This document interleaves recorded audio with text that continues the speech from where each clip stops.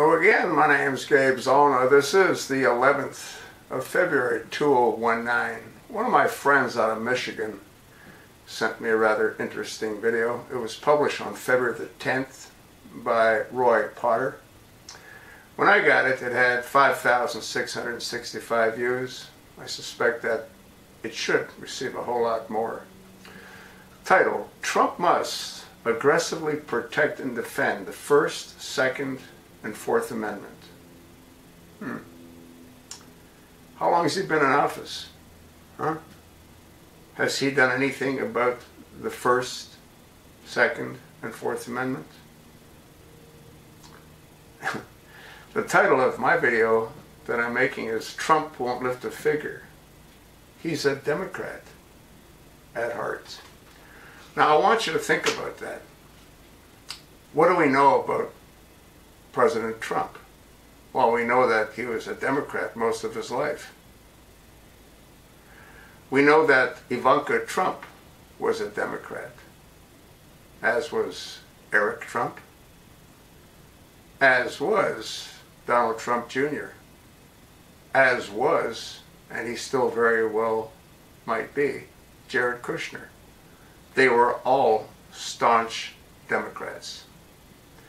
They couldn't vote for President Trump in the primaries because they were, again, all staunch registered Democrats.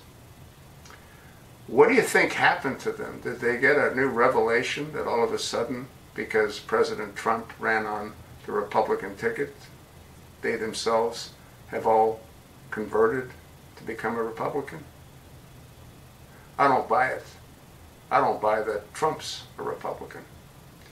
He has done nothing about the First Amendment.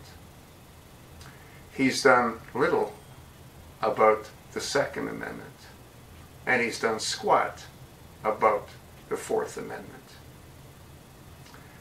He's not going to change.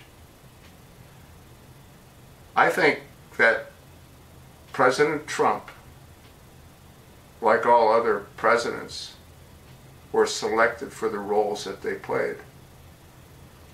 And I'm predicting, and I've already said this in a couple of other previous videos, that in 2020 there'll be a Democrat in the White House, and the Senate will be controlled by Democrats. And our gun rights, well, they're going to go bye-bye. They can't do what they want to do to us as long as we have these. When these are gone, our freedoms, our liberties, will all be gone with them. Folks, President Trump complains about fake news when it affects him. He didn't complain about fake news when YouTube shut down my website, which had 18,300 videos viewed close to 17 million times from people all over the world.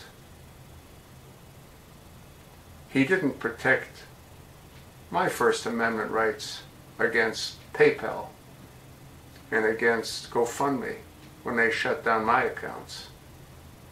I even went to my local congressman's office, Andy Biggs, spoke with his chief of staff, spent an hour explaining that PayPal and GoFundMe function as banks. They can't simply decide that they don't like my political views.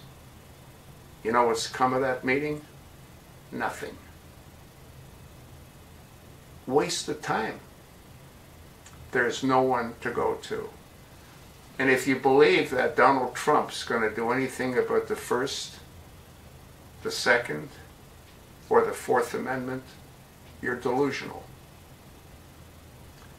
God, I hope I'm wrong. But I don't think so. Roy Potter wants to believe. But he himself, from what he says, recognizes that Trump's done nothing to protect us from the First, the Second, and the Fourth Amendment. Some of you might not want to hear this. I don't care.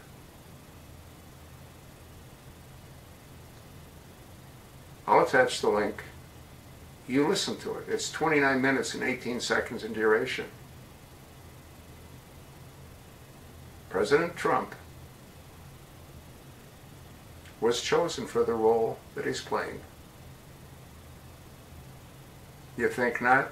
Again, think what you like. I do.